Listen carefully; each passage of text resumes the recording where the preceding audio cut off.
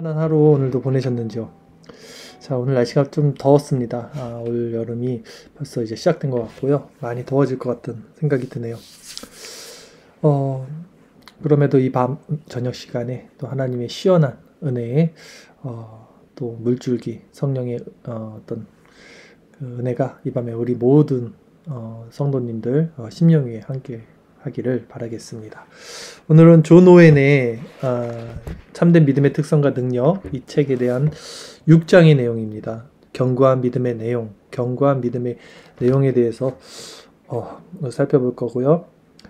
오늘은 두 번째 시간인데 믿음에 대해서 한번 나눠볼 것입니다. 믿음의 정의, 믿음에 대해서 제가 말씀드린 대로 이 오웬의 설교입니다. 오웬의 설교 중에 어, 지난주에 우리가 서론에 대한 믿음에 대한 부분을 살펴봤다면 오늘은 이제 믿음의 정의 본론에 대한 부분인데요. 이 믿음의 정의가 총 네 가지로 나눠졌습니다. 이 네 가지를 오늘 다 전할 수 있을지 모르겠고요. 시간이 되는 대로 한번 전해보도록 하겠습니다. 페이지는 238페이지, 예, 페이지는 238페이지입니다. 같이 제가 읽어드리도록 하겠습니다. 저는 믿음에 관하여 다음과 같이 말합니다. 정의 1. 이렇게 제한된 의미로 볼 때 믿는 것 혹은 믿음이라는 것은 하나님의 약속의 참됨, 곧 모든 약속들의 참됨에 대한 단순한 지적 동의가 아닙니다. 어떤 사람이 우리에게 어떤 것을 확실하게 약속해주면 우리는 그 사람을 믿는다고 말합니다. 그 사람을 믿는다는 것은 그 사람이 말한 것이 참되다고 믿는다는 뜻입니다. 이것이 바로 방금 전에 말씀드린 지적 동의입니다. 이것이 없으면 믿음도 있을 수 없습니다. 그러나 다른 것은 없고 오직 이것만 있다면 이것은 우리가 말하는 믿음이 아닙니다. 마귀들도 오직 이것만은 얼마든지 가지고 있을 수 있습니다. 마귀들은 이것을 가지고 있을 수밖에 없습니다. 야고보서 사, 어, 야고보 사도는 이 점을 분명하게 말해줍니다.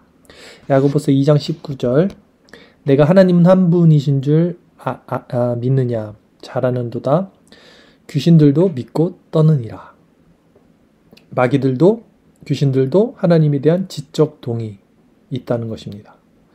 그래서 지적 동의만으로 우리가 말하고 있는 믿음을 정의 내릴 수 없다는 것이죠. 마귀들은 하나님이 한 분이시라는 사실을 계시하시는 하나님의 권위 때문에 하나님 한 분이신 줄을 확실히 믿는다는 것입니다. 그들로 하여금 두려워 떨게 만드는 그 사실을 믿는다는 것입니다. 이렇게 말씀드리면 여러분 중에 어떤 사람들은 다음과 같이 반론을 제기할 것입니다. 자, 반론 살펴보겠습니다. 마귀는 영원한 형벌을 예고하는 위협적인 말씀만을 믿을 뿐입니다. 그렇기 때문에 마귀는 두려워 떠는 것입니다. 따라서 마귀의 믿음은 하나님의 말씀에 대한 총체적인 동의가 아니라 부분적인 동의일 뿐입니다. 이런 점에서 마귀의 믿음과 우리의 믿음은 다릅니다. 왜냐면 우리 믿음은 하나님께서 계시하신 모든 말씀에 대한 특별히 하나님의 약속들에 대한 동의이기 때문입니다. 자, 이런 반론이 일어날 수 있다는 거죠. 마귀의 믿음과 우리의 믿음은 이렇게 다르다라는 거예요. 이 반론에 대해서 또 다시 오해는 저는 다음과 같이 대답합니다. 답변. 마귀는 하나님의 위협적인 말씀을 믿지, 믿는 것 못지않게 하나님의 약속들도 믿습니다. 다시 말해서 마귀는 하나님의 약속들이 참되고 틀림없이 실현될 것이라고 믿습니다. 마귀는 그것들을 믿지 않을 수 없습니다. 이것이 마귀의 비참함 중 일부분입니다. 그런데 하나님의 위협적인 말씀과 똑같이 하나님의 약속들도 마귀로 하여금 두려워 떨도록 만들기에 적합합니다. 하나님께서 우리에게 맨 처음 주신 약속의 말씀을 생각해 보십시오. 그 약속은 마귀의 멸망을 예고하고 위협하는 내용으로 표현되었습니다. 창세기 3장 15절 말씀을 보십시오. 원시복음이라고 하는 부분이죠. 내가 너로 여자와 원수가 되게 하고 너의 후손도 여자의 후손과 원수가 되게 하리니 여자의 후손은 내 머리를 상하게 할것이오 너는 그의 발꿈치를 상하게 할 것이니라. 이 구절뿐만이 아닙니다. 하나님의 모든 약속의 말씀에는 마귀에 대한 위협의 말씀이 항상 포함되어 있습니다. 그렇지 않은 약속의 말씀은 하나도 없습니다. 그리스도에 관한 모든 말씀과 그리스도로 말미암는 은혜에 관한 모든 말씀을 잘 보십시오. 그 모든 말씀에는 마귀의 몰락과 파멸에 관한 말씀이 항상 포함되어 있습니다. 사실 마귀의 멸망에 관한 말씀은 위협의 말씀보다는 약속의 말씀에 더 많이 들어 있습니다. 하나님의 모든 약속의 말씀은 날마다 마귀의 힘을 약화시키는 것이요. 마귀로 하여금 점점 더 가까이 다가오고 있는 자신의 파멸을 끊임없이 먼저 경험하도록 만드는 것입니다. 이런 점을 생각할 때 한 가지 명백하게 알 수 있는 사실이 있습니다. 어, 믿는다는 것, 혹은 믿음이라는 것은 약속을 주신 하나님의 신실함 때문에 하나님께서 하신 모든 약속은 참되다고 단순히 동의하는 것만으로는 결코 성립도, 어, 성립될 수 없다는 사실입니다. 하지만 믿음은 이런 동의도 포함하고 있습니다. 믿음은 맨 처음에 이런 동의로 출발합니다. 즉, 지, 적 동의로 출발을 한다는 거죠. 그러므로 성경은 믿음을 일컬어 하나님의 증거를 받는 것이라고 또그게가 하나님을 참되시다 인치는 것이라고 부릅니다. 그의 요한복음 3장 13, 33절 그의 증거를 받는 이는 하나님을 참되시다 하여 인쳤느니라. 그러나 저는 하나님의 증거를 받는 것과 하나님을 참되시다 인치는 것 계약서를 작성할 때 상기 내용이 사실과 다르지 않고 앞으로도 사실일 것임을 확인하는 차원에서 도장증 찍는 것과 비슷한 이것은 하나님의 약속들이 참되다고 단순히 지적으로 동의한 것보다 더 많은 내용을 포함하고 있다고 생각합니다. 물론 일상적인 언어 생활에서 어떤 사람이 증거를 받아들인다는 것은 그 사람이 말하는 주제와 관련하여 그 사람이 말한 내용이 전부 사실이라고 믿는다는 뜻일 뿐입니다. 일상적인 언어 생활에서는 그렇습니다. 그러나 하나님을 믿는 믿음에 있어서는 다릅니다. 방금 전에 인용했던 요한복음 3장 33절 말씀 뒷부분에 덧붙여진 표현 곧 하나님을 참되시다 하여 인천은이라라는 말씀에는 요배 친구 엘리바스가 요백에 했던 말이 포함되어 있는 것으로 보입니다. 엘리바스는 요백에 많은 말을 한 다음에 끝으로 다음과 같이 말했습니다. 욥기 5장 27절 볼지어다 우리의 영구한 바가 이 같으니 너는 듣고 내게 유익된 줄 알지니라. 이와 같은 표현에는 상대방의 증거를 받아들일 때 우리 자신의 유익을 위하여 그 증거를 받아들이는 것이 포함되어 있습니다. 이것은 단순한 동의 위에 더 많은 것이 첨가된 것입니다. 그러므로 저는 다음과 같이 말씀드립니다. 단순한 지적 동의는 믿음의 일부분이긴 하지만 믿음 자체는 아닙니다. 우리가 이런 단순한 지적 동의를 일컬어 구원 얻는 믿음이 아니라고 말할 때 우리는 그런 종류의 동의를 아예 부인하는 것이 아닙니다. 단순한 지적 동의에 특별한 동의가 더 첨가된다고 해서 달라지는 것은 하나도 없습니다. 그렇다면 괴괄적인 차원의 믿음은 지금까지 말씀드린 것과 같은 지적 동의를 말합니다. 자, 한번 정리해 볼까요? 정의는 뭐냐면요. 아, 믿음은 지적 동의가 맞다라는 것이죠. 그러나 그 지적 동의 플러스 뭔가 다른, 더 어, 뭔가 있다라는 지점까지 나간 겁니다. 왜냐면 지적 동의만으로는 어, 귀신, 마귀들도 같은 믿음을 가지고 있다라고 어, 볼수 있기 때문이다는 것이죠. 자, 믿음에 대한 정의 두 번째 보겠습니다. 이렇게 제한된 의미로 볼 때 믿는 것 혹은 믿음이라는 것은 하나님의 약속이 유익하고 적합한 것을 포함하고 있는 줄 알고 그 약속을 받아들이기로 결정하는 의지의 승낙만으로는 성립될 수 없습니다. 믿기 위해서는 약속 자체뿐만 아니라 그 약속에 담겨진 내용도 반드시 숙고해야 하는 법입니다. 그렇다면 하나님의 약속 안에는 어떤 내용이 담겨져 있습니까? 하나님의 약속 안에는 그리스도의 의와 그리스도의 많은 유익들과 함께 그리스도 자신이 우리에게 제공되고 있습니다. 그렇기 때문에 우리가 믿음으로 말미암아 화목을 얻게 되고 화목을 받아들이게 된다고 말하는 것입니다. 자, 하나님의 약속 안에는 그리스도 자신이 제공되어 있다라는 부분이 중요합니다. 하나님의 약속에는 어, 우리 어떤 소원이나 어, 우리의 어떤 다른 유익보다 그리스도 자신이 우리에게 제공되고 있다. 자, 로마서 5장 11절 이뿐 아니라 이제 우리로 화목을 얻게 하신 우리 주 예수 그리스도로 말미암아 하나님 안에서 또한 즐거워하느니라. 그렇죠? 그리스도 안에서 그리스도로 말미암아 즐거워한다. 그리스도만으로 하나님 안에서 즐거워한다 하는 것이죠. 믿기 위해서는 약속 자체뿐만 아니라 그 약속에 담겨진 내용도 반드시 숙고해야 하는 법이라면 약속의 내용, 곧 약속의 말씀에 제시되어 있는 내용이 선하고 바람직하다고, 막연히 그런 것이 아니라 우리 자신에게 선하고 바람직하다고 인정하는 것과 이것을 이유로 그 약속을 선택하는 것도 믿는 일에 반드시 필요합니다. 이것이 정확한 의미에서 그리스도를 영접하는 것입니다. 자, 그러니까 믿음이라는 것은 지적 동의뿐만이 아니라 그 믿음이 약속하고 있는 바가 선하고 바람직하다는 것을 인정하는 것까지 포함된다라는 것이죠. 하지만 믿음이 다른 모든 것을 배제하고 오직 이것으로만 성립되는 것은 아닙니다. 히브리서 11장 11절 말씀에는 아브라함의 아내 사라의 믿음이 이것으로 묘사되어 있습니다. 믿음으로 사라 자신도 나이 늙어 단신하였으나 잉태하는 힘을 얻었으니 이는 약속하신 이를 믿부신 줄 알미라. 앞에서도 말씀드렸듯이 약속을 해주신 하나님께서 신실하신 줄 알고 그것을 근거로 하나님의 모든 약속이 참되다고 동의하는 것. 이것은 믿음의 본질에 속합니다. 다시 한번. 믿음의 본질이 무엇입니까? 어, 약속을 해주신 하나님께서 신실하신 줄 알고 그것을 근거로 하나님의 모든 약속이 언약이죠. 성경 말씀이죠. 참 참되다고 동의하는 것이 믿음의 본질이다. 는 것이에요. 그러니까 말씀이 믿어지는 거예요. 성경 말씀이 하나님의 말씀으로 믿어지는 것이 믿음의 본질이다는 것이죠. 문제는 지금까지 말씀드린 두 가지 중에서 첫 번째 것은 두 번째 것이 없어도 얼마든지 가능하다는 것입니다. 첫 번째 건 무엇입니까? 지적 동의, 하나님, 신적인 존재가 있어 라는 것은 성경 없이도 지적 동의로도 가능하다는 거죠. 다시 말하면 지적인 동의는 의지의 승낙이 없어도 얼마든지 가능하다는 것입니다. 그러나 의지의 승낙은 지적인 동의가 없으면 절대 불가능합니다. 자, 지적인 동의가 일어나야지 그 다음에 의지가 따라가는다는 말이죠. 어, 그래도 의지의, 의지의 이 같은 선택까지도 반드시 열매로 맺는 지적 동의도 있습니다. 이 말씀은 조금 애매하네요. 넘어가 볼게요.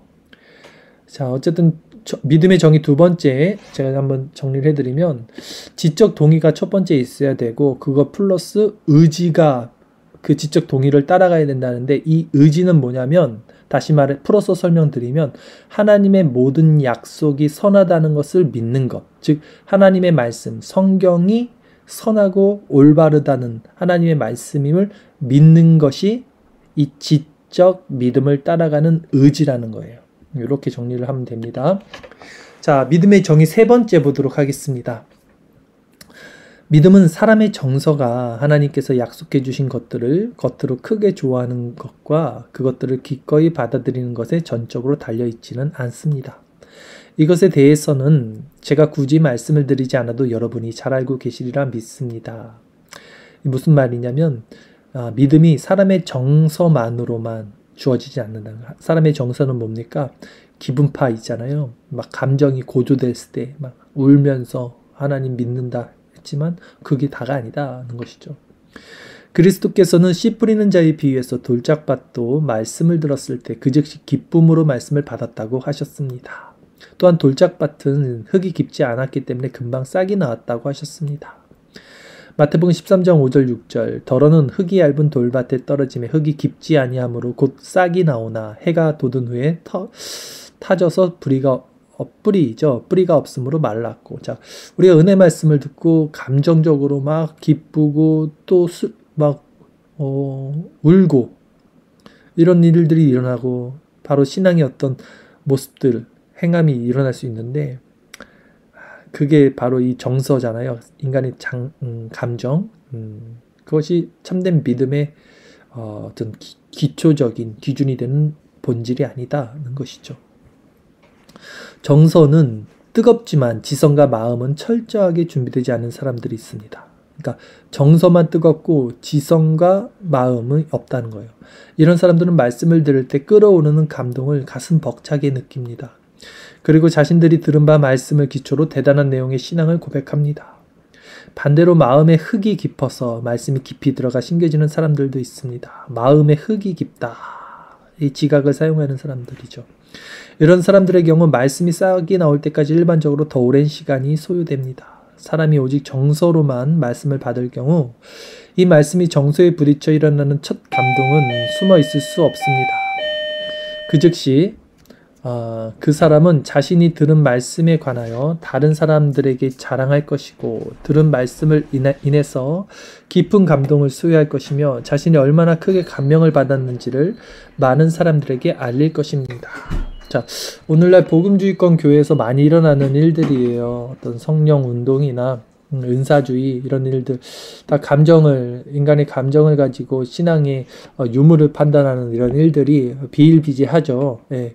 그러나 그런 사람들 참된 믿음이 아니다라는 것입니다.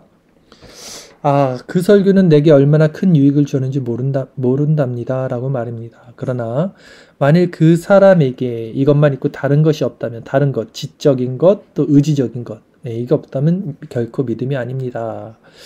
그러니까 결국 믿음은 지정의가 같이 들어가야 돼요. 지정이 인간의 마음의 3요소죠. 먼저 지성, 지식, 지, 어, 지각이 있어야 되고요. 거기에 따른 의지와 또 감정이 뒷받침돼야 된다는 말을 오해는 하는 것입니다.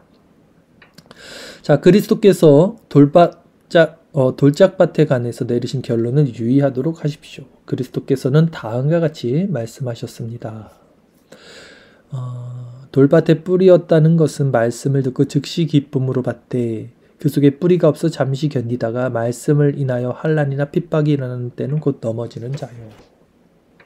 감정만 있는 사람들이죠.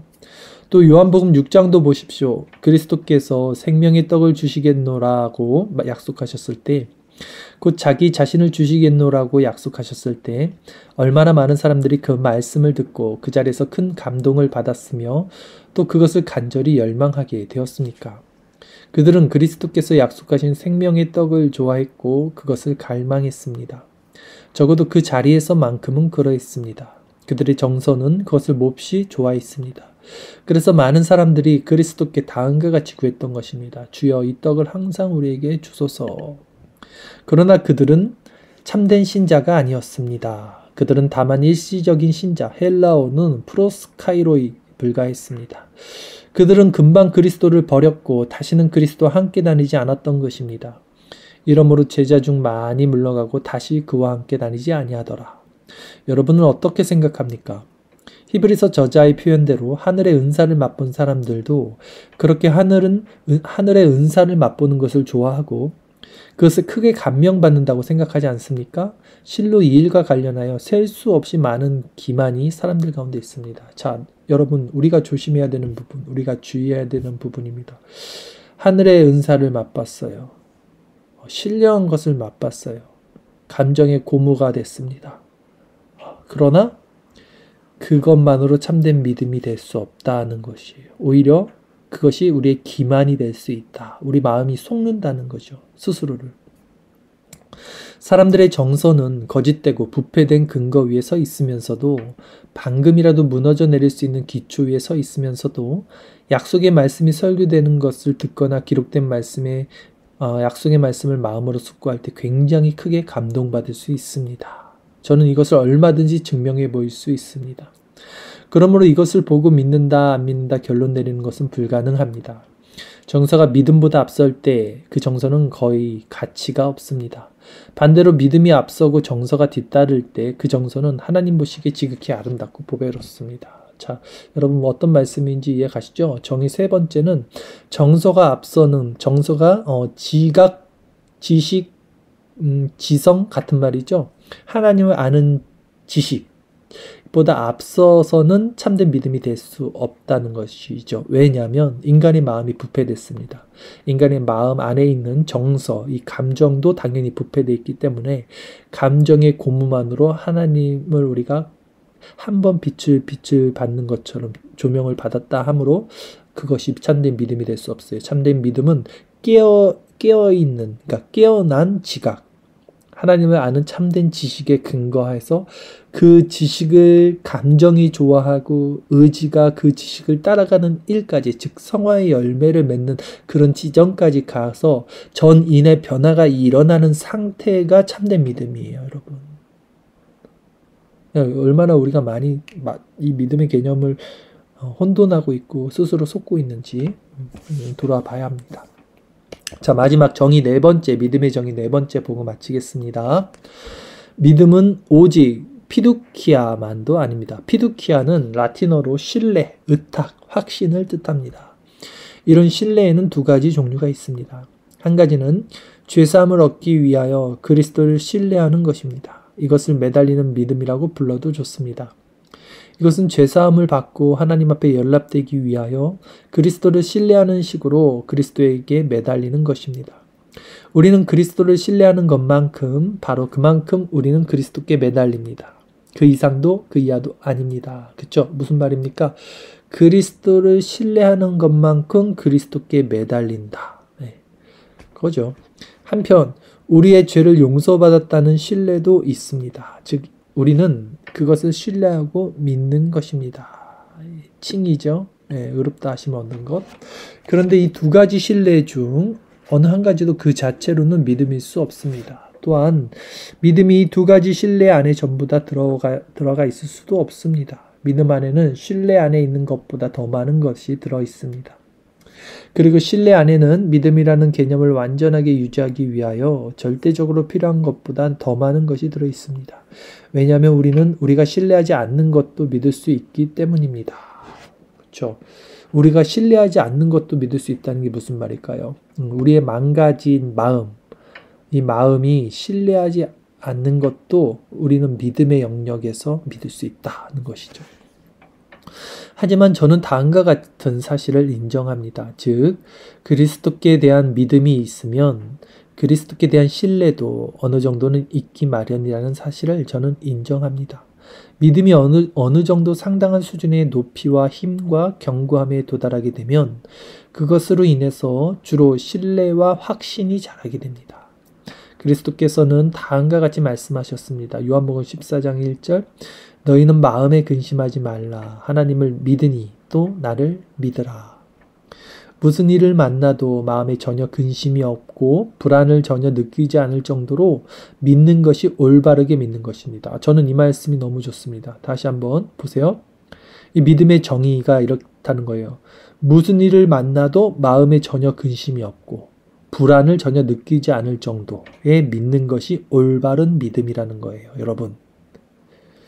그러나 성경이 믿음과는 모순되는 것으로 규정하며 정죄하는 의심, 망설임, 두려움은 이처럼 굳은 신뢰를 가지고 우리 영혼을 그리스도께 온전히 의탁하는 것과 정말 완전히 반대되는 것입니다. 우리가 하나님을 믿는다고 하는데 의심을 하고 망설이고요. 두려움을 가지고 있고 아직도 세상 걱정, 근심, 염려가 있어요. 그것은 그리스도께 온전히 의탁하는 그 믿음과는 완전히 반대되는 것입니다. 하는 거예요. 사도 바울은 자신의 믿음을 그와 같이 묘사합니다. 디모데후서 1장 12절 이를 인하여 내가 또 이 고난을 받되 부끄러워하지 아니함은 나의 의뢰한 자를 내가 알고 또한 나의 의탁한 것을 그날까지 저가 능히 지키실 줄 확신함이라. 아멘. 이처럼 우리가 의탁한 것을 하나님께서 능히 지키실 줄 확실할 정도로 믿는 것이 하나님을 올바르게 신뢰하는 것입니다.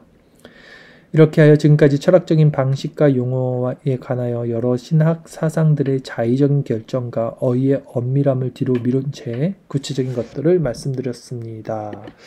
자, 오해는 어, 세상 철학 사조를 가지고 믿음을 정의 내리지 않고 인간의 마음, 지성, 감정, 정서적 의지를 가지고 어떻게 참된 믿음이 이 심령, 마음 안에서 발동되는지에 대해서 이렇게 체계적으로 어, 전개를 했습니다. 먼저는 지성의 변화가 있어야 되겠죠. 하나님 아는 지식이 올바르게 세워지고 그것에 따른 의지와 감정이 어, 음, 따라가야 된다는 것이죠. 그런데 반대로 어, 지성이 세워지지 않은 상태에서 감정주의나 예, 그것은 돌밭에 뿌려진 한 번 빛의 조명을 받은 그런 신앙이라고 말을 했고요. 또 지성이 없는 상태에서 의지가 발동될 수 없다라는 아, 것을 또 말씀을 했습니다. 자 여러분 어, 믿음이라는 것은 참 어, 쉽게 정의내릴 수도 없고 우리 스스로 쟁취할 수도 없는 그런 어떤 신비한 영역입니다. 아, 우리는 그렇기 때문에 우리 마음이 참된 믿음을 갖고 있는지는 늘 점검해야 되고 오히려 저는 우리에게는 믿음이 없고 우리는 참된 믿음을 가질 수 없는 죄인이고 부패한 본성을 가지고 있다라는 측면에서 늘 자신을 점검하고 낮은 심령 가운데 그리스도를 바라보고 그리스도와의 연합점을 찾아가는 것이 어, 오히려 더 좋은 믿음이라고 생각합니다. 반대로 아 나는 빛의 조명을 받았고 그 신령한 것을 맛봤고 그렇기 때문에 나는 구원받은 자라 확신한다라는 그 지점이 어떻게 보면 하나님의 주권을 인정하고 어, 정말 믿음이 좋은 것처럼 보이지만 실제 그 사람의 마음 가운데 어, 그런 의지와 정서가 올바르게 작동되지 않는 믿음이라면 그것은 교만한 마음이요 오히려 그런 믿음의 상태는 하나님 앞에서 어, 또 위험하다라고 저는 생각이 듭니다. 죄가 더한 곳에 은혜가 더하고요. 하나님은 없는 자를 들어 있는 자들을 부끄럽게 하시고 아, 낮은 것을 통해서 하나님은 높은 자리에 올리시고 죽는 것을 통해서 살리시는 하나님임을 오늘 이 밤에도 우리가 지식이나 의지나 관념이나 어, 관념으로 이해하는 것이 아니라 실제적으로 우리의 믿음 없음을 드러내며 오직 그리스도를 바라보시고 그리스도 안에서 연합됨으로 이 신비한 은혜가 우리 10년 가운데 아, 환한 빛으로 비춰지기를 어, 소망 합니다. 실로 하나님을 두려워하는 사람들은요, 사람을 두려워하지 않습니다. 반대로 어, 사람을 두려워한다는 것은 하나님을 두려워하지 않는 거예요. 음, 여러분 우리의 신앙이 얼마나 스스로에게 기만당하고 있는지를 잘 점검하시고 실제 또 실로 우리가 사람을 두려워하지 않고 하나님을 두려워하는 하나님을 그 경외하는 그래서 하나님의 코람데오 전 앞에서 늘 살아갈 수 있는 자들 될 수 있도록 이 밤에도 함께 기도하면서 어, 그, 리스도를 통해 함께 어, 나가도록 하겠습니다. 자, 지금 누가 초인종을 자꾸 눌렀는데 음, 여러분 양해 부탁드리고요. 기도하면서 같이 나가도록 하겠습니다.